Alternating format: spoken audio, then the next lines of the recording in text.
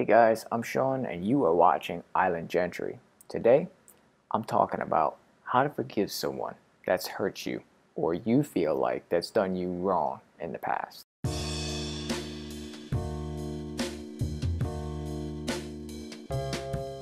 Apologies for my setup here. I'm kind of on the go and I don't really have all my equipment with me, so bear with me, but um, I think you'll find this video helpful. Before I get started, guys, make sure you go ahead and click that subscribe button. I'm trying to reach a thousand followers right here on Island Gentry. And when I do, I'm to have an awesome giveaway. And while you're at it, click that notification button so all the videos get sent straight to you and you're notified every time I post a new video. So I greatly appreciate it if you hit that subscribe button. Alright, so now on to the topic of discussion, forgiving someone.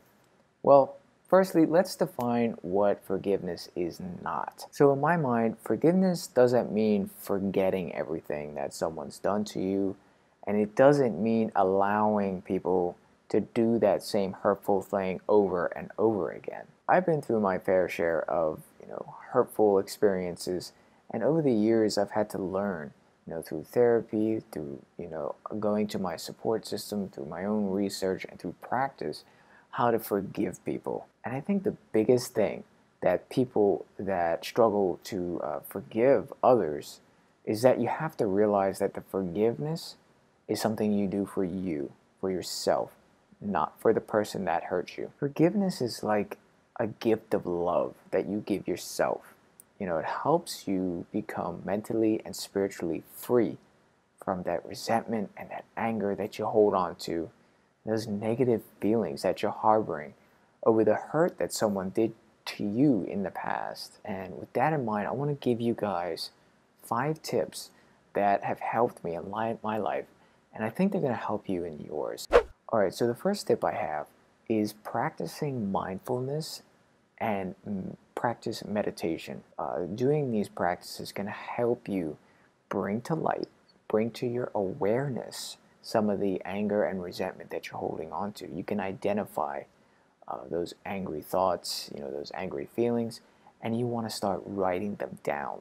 Take a journal of your thoughts and your feelings and, and just make a mental note of them as well. Self awareness is extremely important. If we can notice that when we have certain thoughts, they make us feel a certain way, and being present and conscious and becoming self aware is the first step to getting over that hurt and forgiving someone. So that's why it's important to practice mindfulness and meditation. They can help you understand the connectivity between the two. Now, if you aren't aware, I actually did a video on practicing meditation and mindfulness.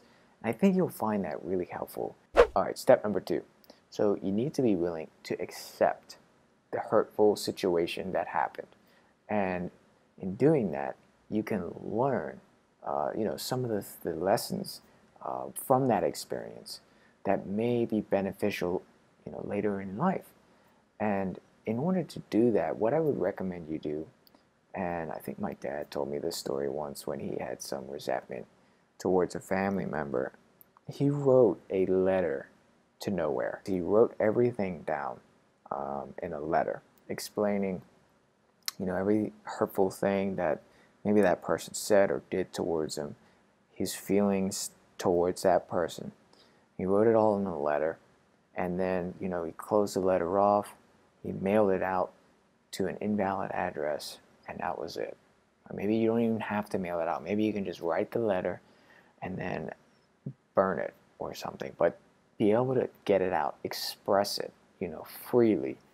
That's another way of dealing with the resentment and getting over that so that you can learn to forgive. Step number three, this one actually helps me a tremendous amount, and that is seek support from your loved ones and the ones you trust the most. This can include close friends, close family members, and even a therapist. Um, you know, maybe you're already going to a therapist, or maybe you're thinking about going, and if you are, I would highly recommend it because it can really help put things in perspective and help you, you know, learn to forgive and move on and uh, not hold on to that resentment anymore. You know, there's nothing wrong with talking about your feelings and things that are bothering you. Recognize that, particularly like when you're talking to, you know, your parents or older generation or therapists, they have a lot of experience with these things, you know, most of the time. And so they can offer you a perspective because they may have had situations similar to yours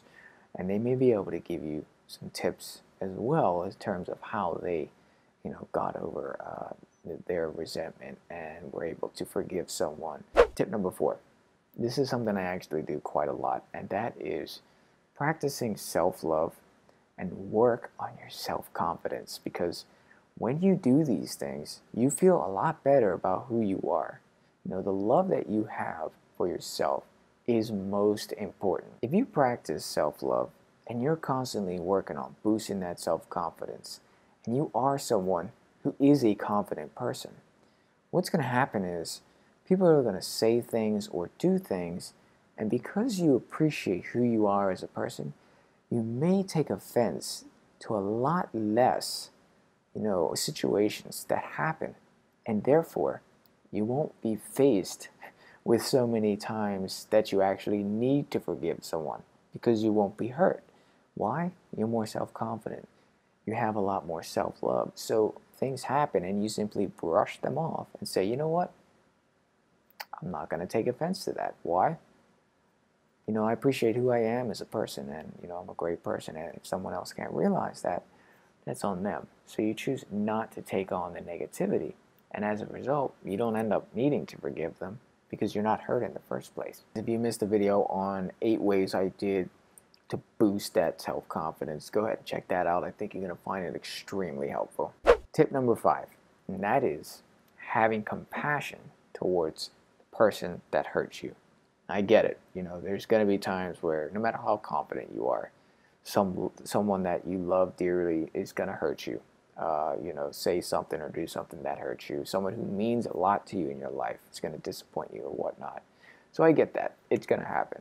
So the, this fifth tip, having compassion, is really what's going to make a lot of difference in terms of making that final step in terms of getting over that anger and resentment and finally forgiving and accepting that you know wrongdoing and moving forward in a positive direction. Now, if you missed a video I did on anger and resentment, that's a good complementary video to this one.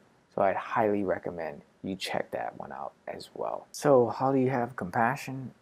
Well, the easiest way I can sort of describe how I practice having compassion is try to put yourself in someone else's shoes and realize that they got things going on, you know, their lives, and maybe they hurt you, uh, you know, unintentionally. Maybe they didn't realize they hurt you. But remember, the compassion, having the compassion for someone else is not really for them. It's for you to feel better. Um, you know, to realize that there are no perfect human beings. So people are going to say and do things sometimes. You may not agree with it, but if you put it in your mind that, hey, you know, no one's perfect here, it kind of allows you to accept people a little bit more for who they are uh, rather than coming with judgment or a, a, a set of expectations with who you think they should be. Alright guys, that's my five tips on how to help you forgive someone who's hurt you in the past. Comment below. Let me know what are the things you guys do to you know get over some things that you've been holding on to, some of the resentment you've had. Share some tips because you know I obviously don't know all of them, but these are the ones that have helped me. So I just wanted to share with you. As always, take care of yourselves, guys, and I'll see you next time on Island Gentry.